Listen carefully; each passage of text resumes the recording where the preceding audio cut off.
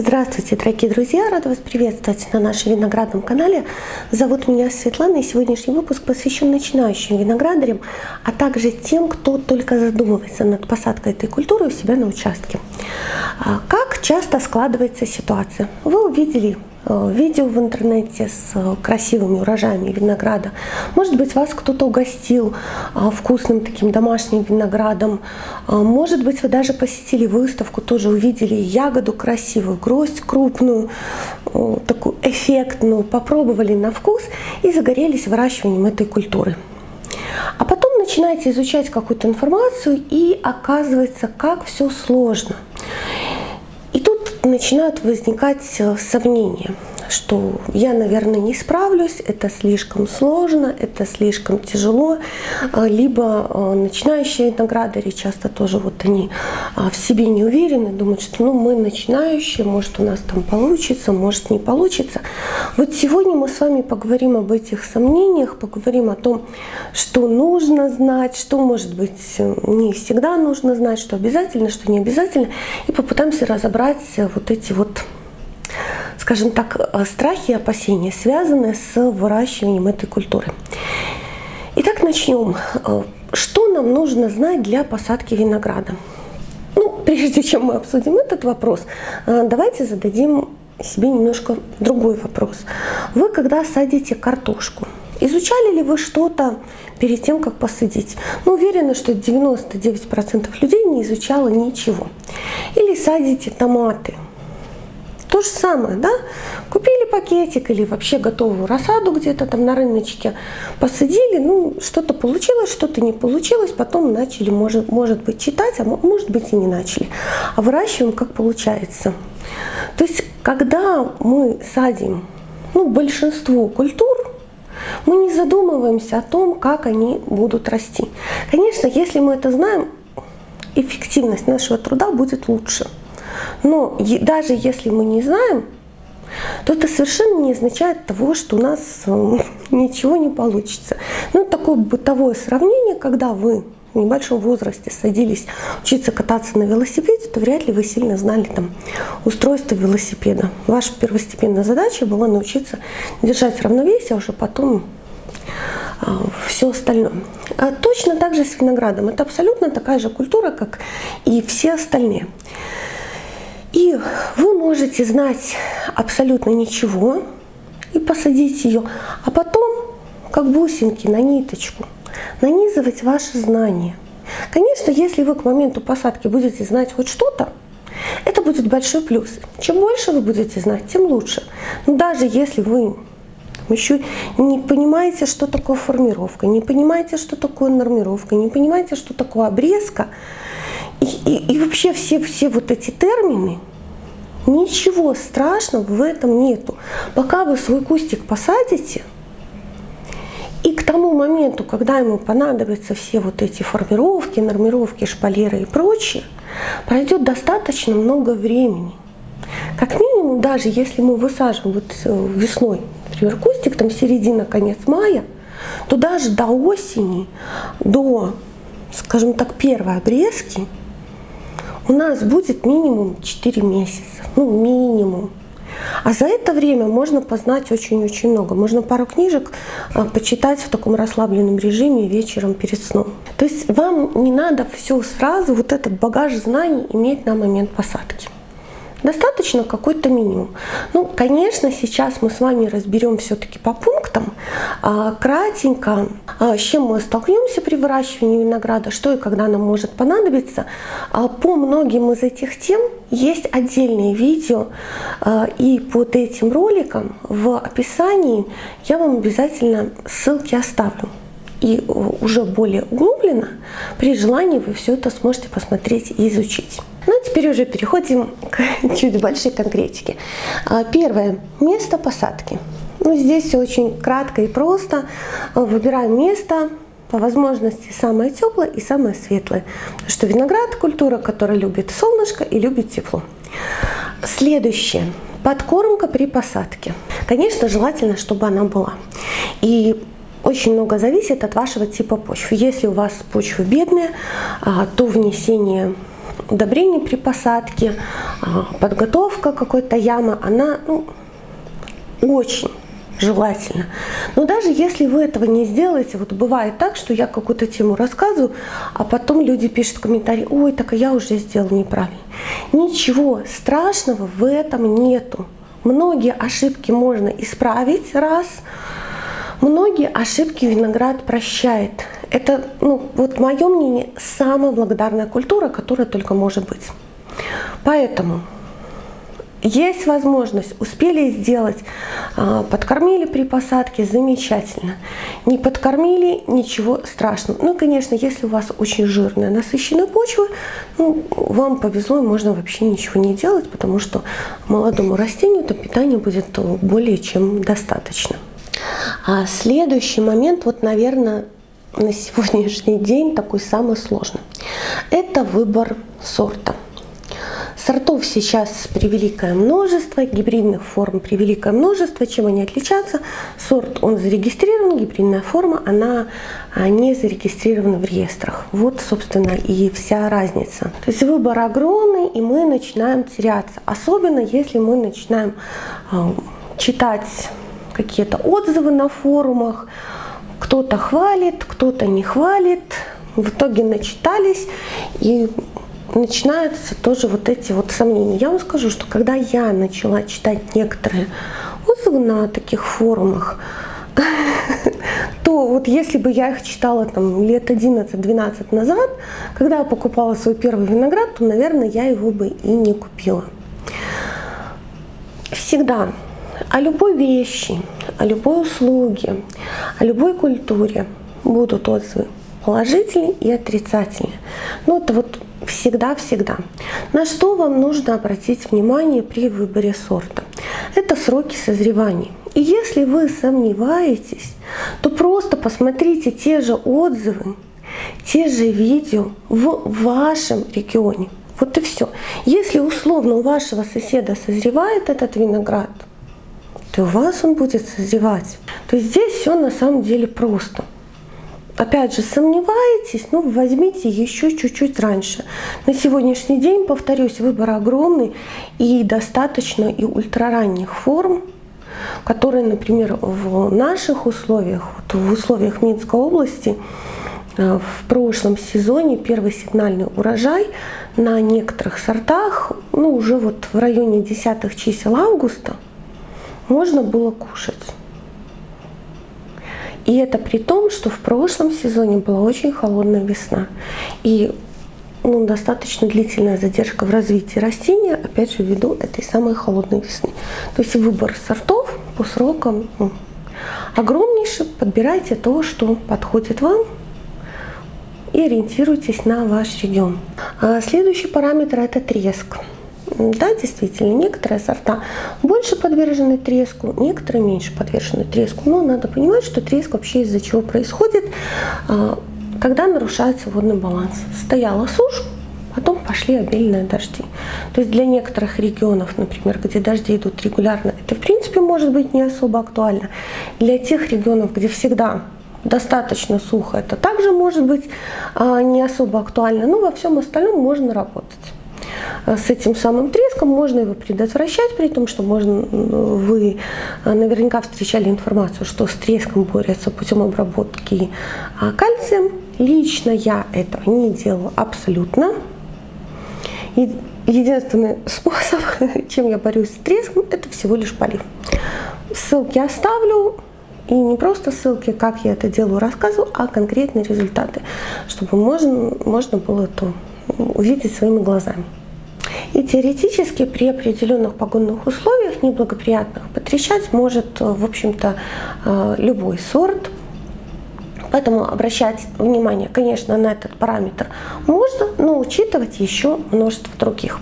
Следующее – это осы кто-то вот где-то прочитал, что о, вот эти вот сорта винограда осы едят, значит я их себе садить не буду. А, ну, сейчас э, немножко отвлечемся от винограда и расскажу мой реальный пример из моей жизни.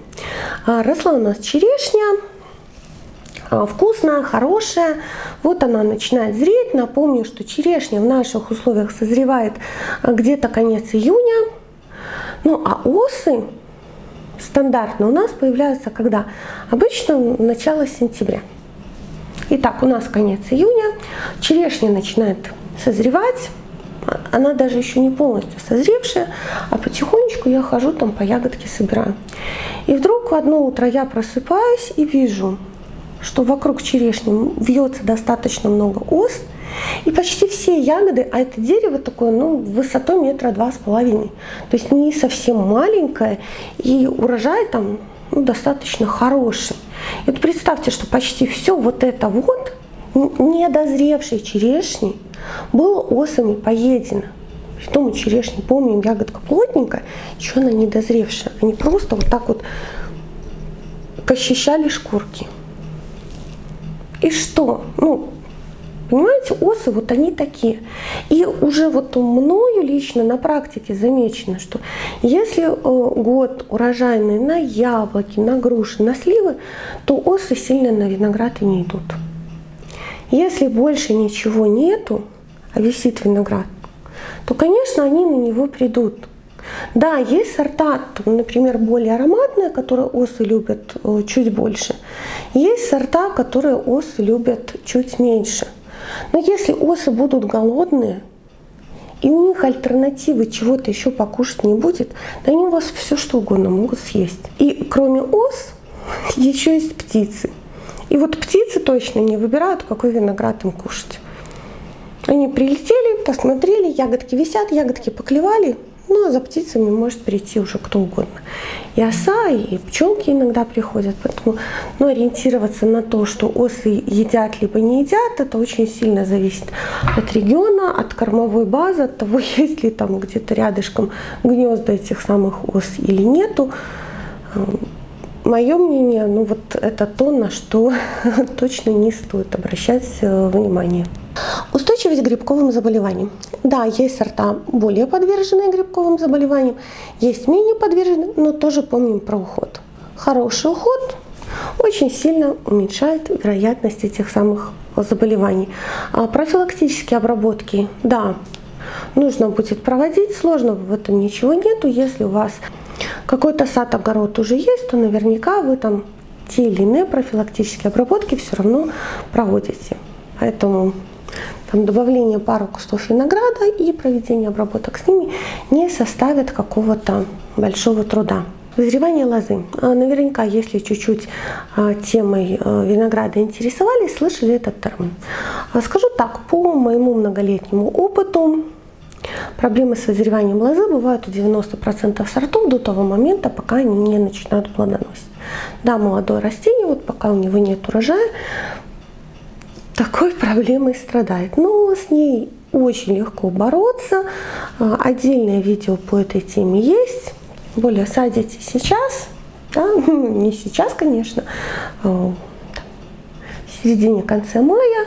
До осени у вас еще достаточно много времени, чтобы понять, а, как растению помочь. Ну а дальше тоже все в ваших руках.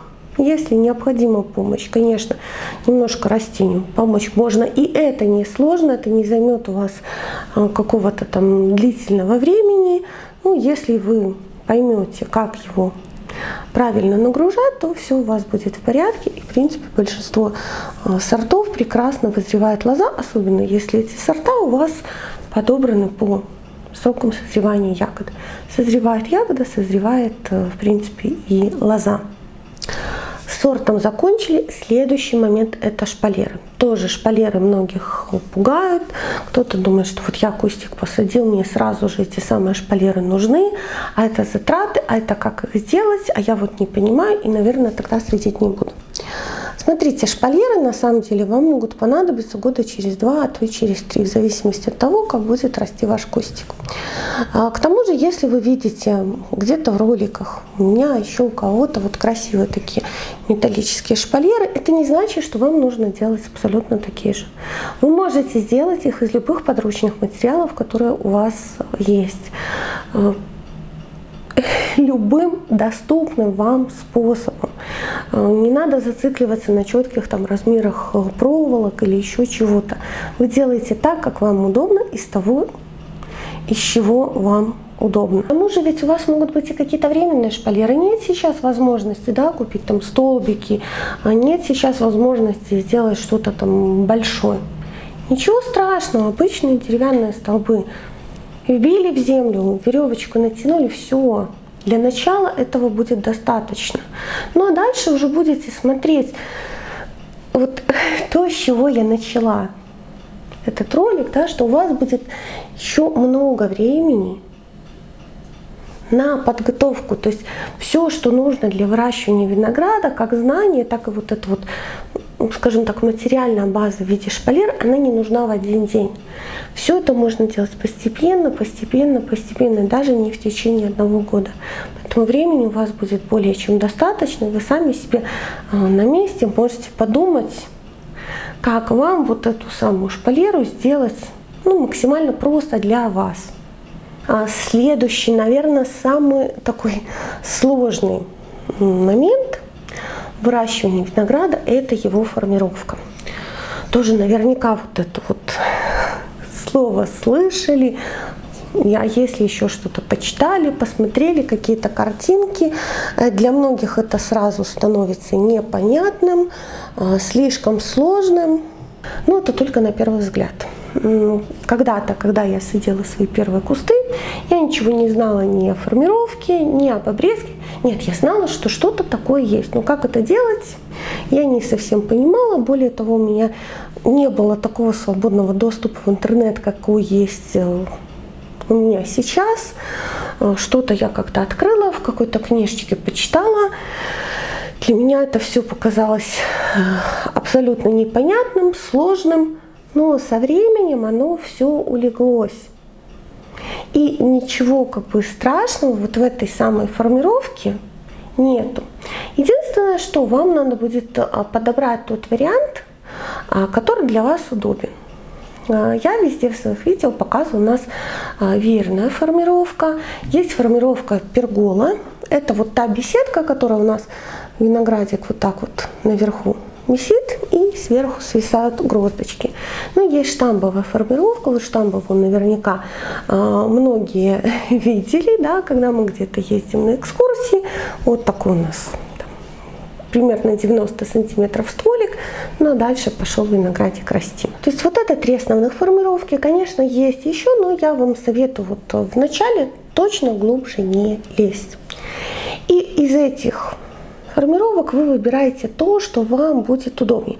Во-первых, то, что вам будет понятно, как, как это сделать, а во-вторых, как это обслуживать. Ну, к примеру, даже вот пергола, с одной стороны красиво, а грозди висят сверху, но если, например, вам тяжело стоять, э, держа руки вверх, потом срезать эти грозди, да, уже вам эта формировка может не совсем подходить. То есть всегда учитывайте и момент удобства для вас. А здесь я еще остановлюсь на таком моменте, как укрытие винограда э, часто спрашивают, вот я хочу не укрывной, есть у меня отдельный ролик по укрывным и неукрывным виноградом. Ссылку я оставлю. В ближайшее время я хочу делать еще один тоже на эту тему, еще раз а, акцентировать на это внимание. Вообще неукрывных сортов на самом деле не бывает. Это, ну, скажем так, немножко такая бытовое обозначение, но есть неукрывная культура. Например, во Франции все неукрывное. Но если мы их в сорта посадим у себя, нам все придется укрывать, потому что они вымерзнут. А подробно, для чего нам нужно укрытие и почему это важно, в этом ролике я не останавливаюсь. Скажу только по моменту самого укрытия. Сложного в этом ничего нету. Многие люди выращивают э, плетистые розы и их укрывают. Что такое снять розу с колючками? Ну, я думаю, что даже человеку, который этим не занимался, понятно, что там достаточно сложно.